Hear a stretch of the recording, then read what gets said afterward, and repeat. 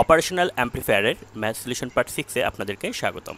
আমরা এই ভিডিওটিতে অপেম ইন্টিগ্রেটরের ইকুয়েশন ডিরাইভ করব এবং অপেম ইন্টিগ্রেটর থেকে যে ধরনের প্রবলেমগুলো বিগত বছরের জব পরীক্ষা এসেছিল, সেই ধরনের প্রবলেমগুলো এই ভিডিওটিতেই সমাধান করব। তো সম্পূর্ণ ভিডিওটি মনোযোগ দিয়ে একবার দেখবেন, তাহলে অপেম ইন্টিগ্রেটর থেকে যে ধরনের প্রবলেমই আসুক না কেন, আশা করছি আপনি সমাধান করতে পারবেন।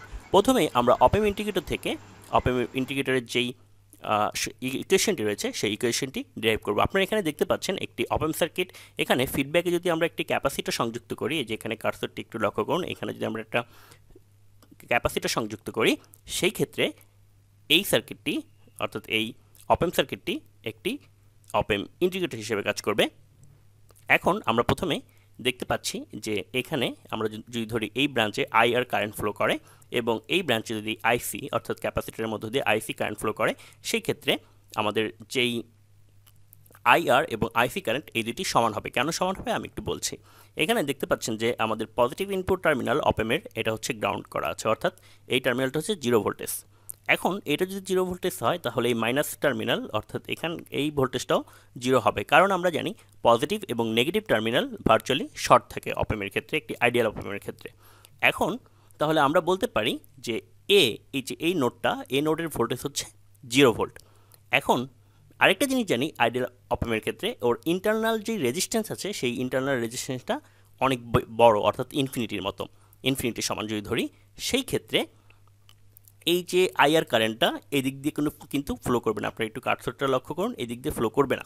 তাহলে এই আইআর কারেন্টটা সম্পূর্ণ আইসির মধ্য দিয়ে ফ্লো করবে।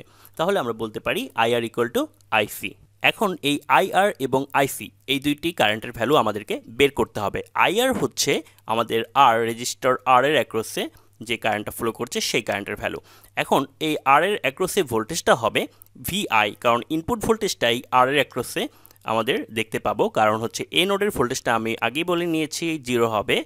তাহলে আমাদের এই ভিআই ভোল্টেজটা আর এর অ্যাক্রসে ড্রপ হবে।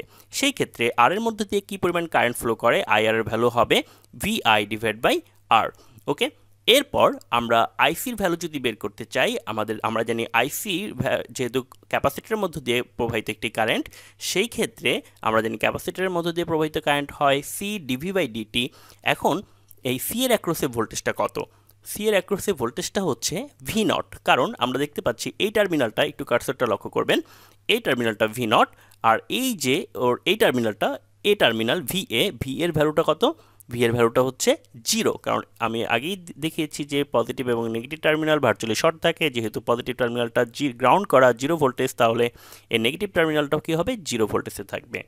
তাহলে আমরা সি এর অ্যাক্রসে ভোল্টেজটা ধরতে পারি ভি নট কিন্তু আমাদের কারেন্টের ডিরেকশনটা এই দিকে, একটু লক্ষ্য করবেন কারেন্টের ডিরেকশনটা এই দিকে এবং পজিটিভ ভোল্টেজটা এইখানে। অর্থাৎ পজিটিভ এই পাশে, কিন্তু কারেন্টের ডিরেকশন হচ্ছে পজিটিভ দিয়ে ঢুকতেছে।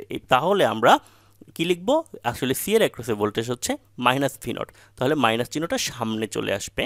তাহলে আমরা লিখতে পারি I C equal to minus C D V naught divide by D T তাহলে এখান থেকে আমরা লিখতে পারি যে V I divide by R equal to minus C D V naught divide by D T এখান থেকে আমরা D V naught equal to লিখতে পারি minus one by R C V naught D T এখন আমাদের বের করতে হবে output voltage D V naught অর্থাৎ ভি নট অর্থাৎ আউটপুট ভোল্টেজের যেহেতু এটা ডিফারেন্সিয়েট ভ্যালু আমরা কি করব? উভয় পাশে অর্থাৎ লেফট হ্যান্ড সাইডে এবং রাইট হ্যান্ড সাইডে ইন্টিগ্রেশন করে দেব। তাহলেই আমরা ভি নটের ভ্যালু পেয়ে যাব। তো ইন্টিগ্রেশন করলে আমরা পেয়ে যাচ্ছি V naught equal to minus one by R C যেহেতু আর সি হচ্ছে কনস্ট্যান্ট এটা তো বাম পাশে চলে আসলো। ইন্টিগ্রেশন জিরো থেকে টি পর্যন্ত ভি আইটি ডিটি তাহলে আমরা দেখতে পাচ্ছি এখানে ভি আইটা হচ্ছে কি? একটা ইনপুট ভোল্টেজ তাহলে কোনো একটা ইনপুট ভোল্টেজকে আমরা যদি সমাকলন করি, দেখতে পাচ্ছি ইন্টিগ্রেশন করি, সেই ক্ষেত্রে আউটপুট ভোল্টেজ পাওয়া যাচ্ছে এখানে। তাহলে এই সার্কিটটা হচ্ছে একটি অপেম ইন্টিগ্রেটর সার্কিট তো আশা করি অপেম ইন্টিগ্রেটর সার্কিটের যেই বেসিক থিওরিটা ছিল এবং কীভাবে ইকুয়েশনটা ডিরাইভ করতে হয় সেটা আপনারা বুঝতে পেরেছেন। এখন আমরা অপেম ইন্টিগ্রেটর থেকে যে ধরনের প্রবলেমগুলো বিগত বছরের জব পরীক্ষায় এসেছিল সেই ধরনের প্রবলেমগুলো আমরা সমাধান করব। আমরা এখানে দেখতে পাচ্ছি ইজিসিবি দু হাজার চোদ্দ সালের রিক্রুটমেন্ট অ্যাসিস্ট্যান্ট ইঞ্জিনিয়ার রিক্রুটমেন্ট পরীক্ষায় যে ধরনের প্রবলেম এসেছিল, ঠিক সেই ধরনের একটি প্রবলেম এখানে দেওয়া আছে। হয়তো প্যারামিটার আর এবং সি এর ভ্যালু এই ধরনের প্যারামিটারগুলো একটু ডিফারেন্ট আছে এই প্রশ্নটাতে বাট প্রশ্নের ধরনটা প্যাটার্নটা সেম ঠিক এরকম ছিল দু হাজার চোদ্দ সালের ইজিসিবি রিক্রুটমেন্ট পরীক্ষায়। এখানে একটি অপেম ইন্টিগ্রেটর দেওয়া আছে যেখানে আর এবং সি অর্থাৎ ক্যাপাসিটর এবং রেজিস্টারের ভ্যালু দেওয়া আছে, এবং ভিআই ইনপুট যেই ভোল্টেজটা এই যে ভিআই ভিআই এর ভ্যালু ভিআইটাও দেওয়া আছে। আমাকে কি করতে হবে? আমাদেরকে হচ্ছে ভি নটটা বের করতে হবে। তো সিম্পল আমরা জানি যে অপেম ইন্টিগ্রেটরের ক্ষেত্রে কি হয়? আমরা জানি ভি নট হচ্ছে minus one by R C V integration of V I D T right এই ফর্মুলাটা আমরা একটু আগে ডিরাইভ করা শিখেছি।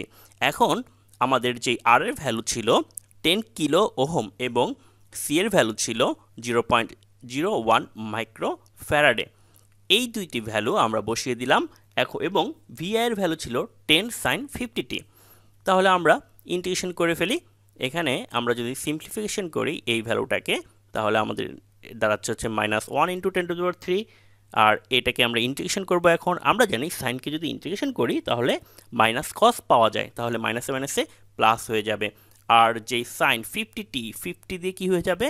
টি এর সহগ দিয়ে যেই ভ্যালুটা থাকবে, সেই ভ্যালুটা কনস্ট্যান্ট ভ্যালুটা দিয়ে ভাগ হয়ে যায়।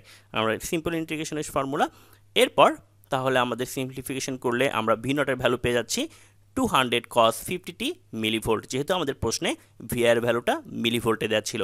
তো খুব সহজ দেখতেই পাচ্ছেন যে ইসিবি দু হাজার চোদ্দ সালের যেই রিক্রুটমেন্ট পরীক্ষায় যে ধরনের প্রবলেমটি এসেছিল, এটি খুব সহজেই আমরা সমাধান করতে পারলাম। এখন আমরা অপেম ইন্টিগ্রেটর রিলেটেড আরও একটি গুরুত্বপূর্ণ প্রশ্ন সমাধান করব। আপনারা এখানে দেখতে পাচ্ছেন যে অপেম ইন্টিগ্রেটর সার্কিটটিতে আছে, এখানে ভি ওয়ান এবং ভি টু দুইটি ইনপুট ভোল্টেজ দেওয়া আছে, দুইটি ইনপুট ভোল্টেজ এখানে দেওয়া আছে ভি ওয়ান হচ্ছে ten cos two T millivolt এবং ভি টু হচ্ছে zero point five T millivolt আমাদেরকে ভি নট অর্থাৎ ভি নটটা বের করতে হবে, যেখানে ক্যাপাসিটারের initial condition zero initial condition zero মানে হচ্ছে আপনাদের ক্যাপাসিটারের অ্যাক্রসে ভোল্টেজটা এখানে আচ্ছা অ্যাকচুয়ালি এখানে বলেই দিয়েছে যে voltage across the capacitor is initially zero অর্থাৎ টি এর ভ্যালু যখন লেস দেন জিরো ছিল, তখন ক্যাপাসিটারের মধ্যে কোনো ভোল্টেজ ছিল না।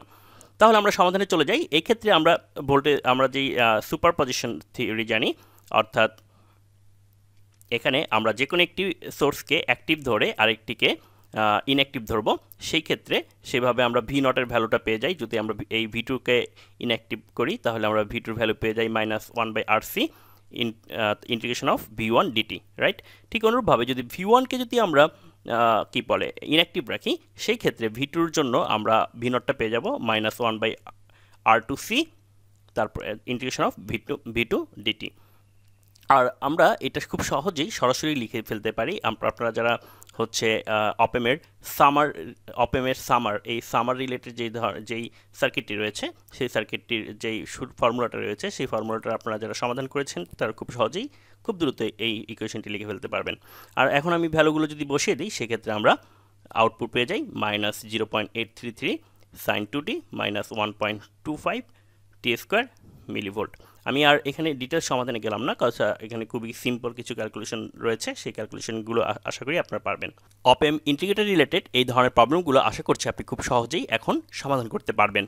আর আপনার জন্য একটি এক্সারসাইজ রয়েছে, এখানে একটি অপেম ইন্টিগ্রেটর সার্কিট দেওয়া আছে, যেখানে আর এর ভ্যালু হচ্ছে ওয়ান কিলো হোম সি এর ভ্যালু অর্থাৎ ক্যাপাসিটারের ভ্যালু হচ্ছে টেন মাইক্রোফ্যারাডে এবং আমাদের যে ইনপুট ভোল্টেজটা T equal to zero second সময়ে একটা ইনপুট ভোল্টেজ অ্যাপ্লাই করা হয়েছে ডিসি ইনপুট ভোল্টেজ সেটা হচ্ছে টেন মিলিভোল্ট এর জন্য আপনাকে কী করতে হবে? আউটপুট ভোল্টেজটা বের করতে হবে। তাহলে আউটপুট ভোল্টেজটা বের করে কমেন্ট সেকশনে আপনি জানিয়ে দিন। তো এই প্রশ্নটি আপনি কীভাবে সমাধান করবেন?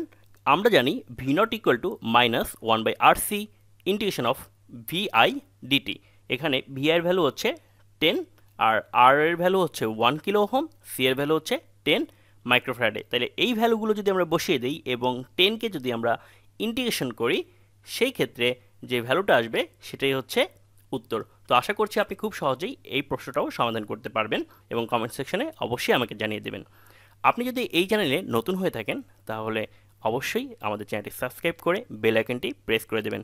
তাহলে বেল আইকনটি যদি আপনি প্রেস না করেন সেই ক্ষেত্রে হয়তো আমাদের চ্যানেলে যখনই আমি নতুন কোনো ভিডিও আপলোড করব, তখন হয়তো আপনি নোটিফিকেশন পাবেন না। সেক্ষেত্রে সাবস্ক্রাইব করার সাথে সাথে বেল আইকনটিও প্রেস করে দেবেন। আর আরেকটা জিনিস, সেটা হচ্ছে এই ভিডিওটি সম্পর্কে আপনার যদি কোনো মতামত থাকে, সেই মতামতগুলো অবশ্যই কমেন্ট সেকশনে আমাকে জানান। আপনাদের মতামতগুলোর উপর বেস্ট করে আমি নতুন কোনো ভিডিও তৈরি করতে পারি। তো অবশ্যই আপনার মতামতটিও আমাদের কমেন্ট সেকশনে জানাবেন। আর ভিডিওটি যদি ভালো লেগে থাকে, তাহলে অবশ্যই একটি লাইক দিয়ে দেবেন এবং আপনাদের ফ্রেন্ডদের মাঝে ভিডিওটি শেয়ার করবেন, যাতে আপনাদের ফ্রেন্ডরাও এই ভিডিওগুলো থেকে কিছুটা হলেও উপকৃত হয়। আর আশা করছি আমাদের এই চ্যানেলের ভিডিওগুলো আপনাদের জব প্রিপারেশনের জন্য একটু হলেও সহায়ক ভূমিকা পালন করছে। তো আপনারা প্রিপারেশন নিতে থাকুন। আশা করছি আপনারা আপনাদের কাঙ্ক্ষিত লক্ষ্যে খুব দ্রুতই পৌঁছে যাবেন। তো আপনারা সবাই ভালো থাকুন।